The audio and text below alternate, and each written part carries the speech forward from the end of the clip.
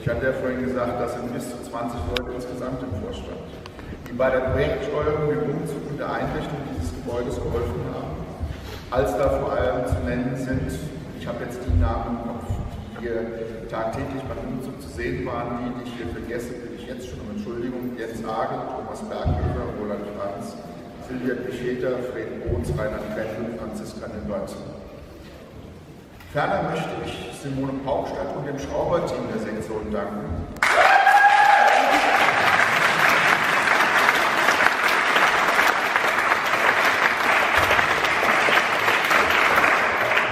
die hier mehr als 80 Routen geschraubt haben und die das alles gesund und unfallfrei durchführen konnten und die hoffentlich auch künftig helfen, diese Halle attraktiv zu halten.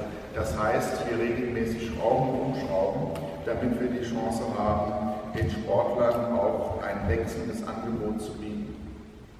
Sie sehen hier Routen im Bereich IAA 3 bis 10, wobei man anmerken muss, der Zehner ist noch nicht ganz fertig, aber nur deswegen, weil wir so sparsam waren und die Tagesmiete und Verbringungskosten für 600 Euro für einen Tag einer Scherenbühne nur an einem Tag aufzubringen, als es gebraucht wurde und jetzt für den weiteren Tag für diese Routen nicht.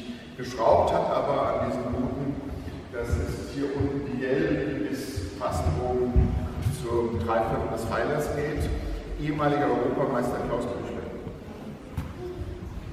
Ich denke, das wird den Kletterern hier in der Halle auch Anreiz sein, im Bereich des Spitzensportes klettern zu können und damit auch dem Landeskader Hessen eine ausreichende Sportstätte zu sein. Wir jede Menge Routen in 8, 9 und wie gesagt sogar jetzt auch in 10. Ich möchte auch den Mitarbeitern unserer Geschäftsstelle danken, die in letzter Zeit, vor allem während des Umzuges, viel zu erdulden hatten. Dort sind zu nennen unsere Geschäftsstellenleiterin, die Frau Julia Kukulev, unser EDV-Leiter, der Jens Bauchstadt und die Mitarbeiterin Albina Hasimovic. All diejenigen, hatte ich schon gesagt, die ich an der Stelle vergessen habe, bitte ich um Entschuldigung. Aber bei 3000 ist es nicht leicht, all die zu nennen, ohne sie zu langweilen, die wirklich mitgewirkt haben. Es waren deutlich mehr. So wünsche ich den allen viel Spaß und allzeit unfallfreies Klettern in dieser Halle. Und dann hast du vergessen.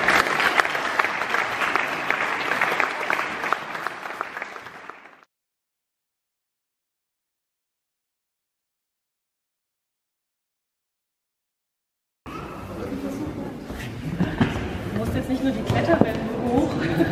Okay. Also wir wissen, dass du ein Faible für Gummibärchen hast und haben deswegen mal keine Blumen genommen Das ist auch gut. und hoffen, dass du und die Deinen und die Kletterer, mit denen du hier schraubst, damit was anfangen Ja, auf können. jeden Fall. Herzlichen Dank. Dankeschön.